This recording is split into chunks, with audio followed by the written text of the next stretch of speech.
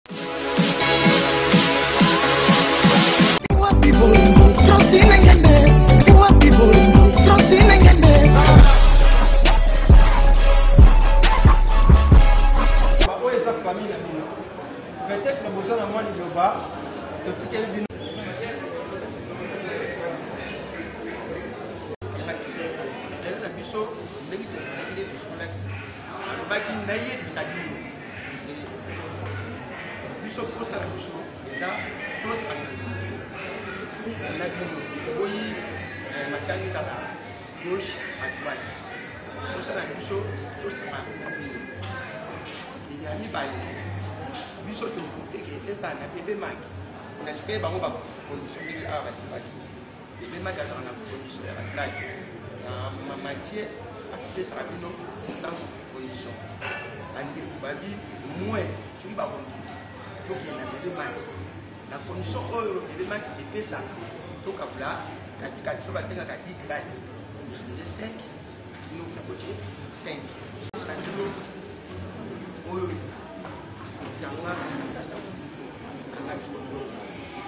Ok, merci, merci. Pardon, kombo na bosa. Euh, toyoki nyonso olobi me nazosenga boye soki tosilisi awa bokende te bokuta bien tozo continue Tozo continuer. Wesa Mugaza wana azozwa 5000 kwanza, 3000 kwanza, azokoma bakombo ya bato oyo bazwi ba makaro. Tolobi samedi nde toza boye lelo toza su na bakonte bakonte wana oyo ata ya semeni tozaka ya samedi na 14 Eko permettre que tokota semaine ya lundi to avancer na makambo presque nionso. Parce que semaine wana tokota sur ta marche kuna na Congo. Eza na difficulté moko te oyo ekosala que no bapusa ebembe ekundama près eza te. Donc c'est sûr le 29 février 2020 ndeko na biso dadi akundama mpenza samedi oyo eza le 22 na ngonga ya 14h30 biso nyonso tokokutana lisusu mpo na toyeba tosukeli wapi tozokende wapi napesa neti exemple totikisi bandeko ya mutualité ya bana eza deja moko ya bapoint sikoyo mpona tosolola yango ekomi ke tokosolola yango nsima mais kotika ndi nango samedi le 22 ntango bisaki na 11 tolobi nano place te motu nyonso akoyeba place le 22 eza samedi ya semaine oyo ezongi naza si motu nyonso ayoki toye na Eloko oyo esalaka mpenza makambo e marche bien to mabe ezalaka charge ya protocole. Protocole soki esimbami bien, makambo nyonso ekendaka malamu.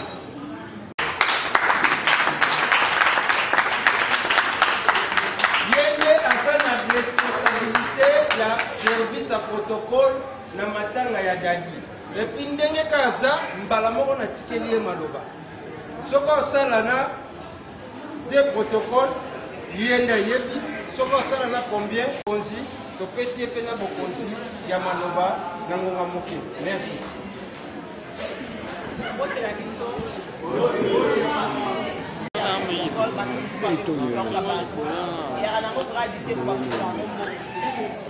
eza kaka eloko moko olingi ozwa yango tozwa yango dike po tadi aza moko na biso biso baoyo tozwa temps ebele ya kozala na ye kopartasi ne basene kofanda na ye na makambo ebele donc voilà